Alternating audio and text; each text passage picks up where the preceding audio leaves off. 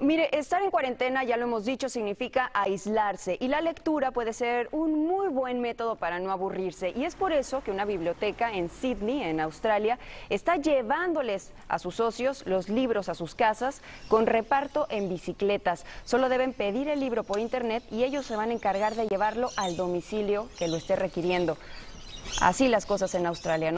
El mundo está cambiando constantemente la cifra de personas infectadas por el coronavirus. El número ya se está acercando al cuarto de millón de personas, pero los datos están cambiando.